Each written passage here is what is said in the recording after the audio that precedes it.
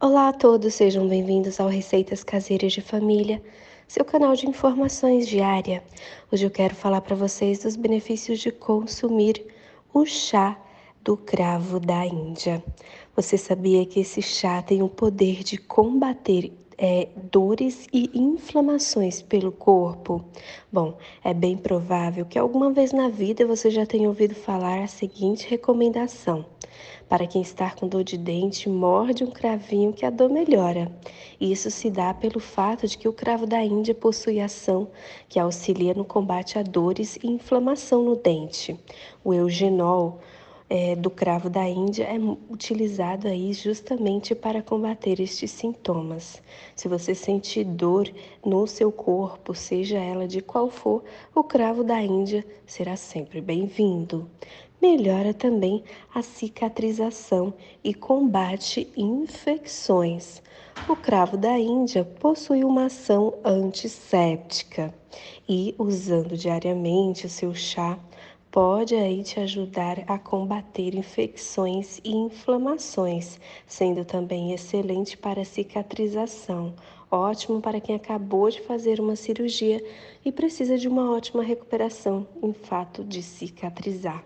Além disso, o cravo da Índia possui ação antibacteriana, antifúngica, o que ele e faz aí com que ele auxilie na cura de infecções por bactérias pode também aí ajudar você a relaxar os músculos.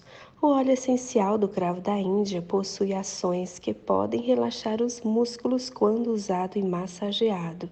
Por exemplo, o seu aroma ainda pode auxiliar no processo de fadiga. Outra coisa interessante é que esse chá pode melhorar a saúde dos ossos. Um estudo realizado mostrou e apresentou ótimos resultados em relação à melhora da osteoporose com o uso de componentes do cravo da Índia. O estudo mostrou mais ainda uma melhora na densidade óssea.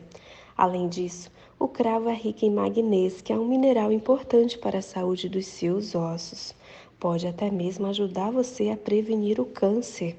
Isso mesmo, o cravo da Índia pode prevenir o câncer.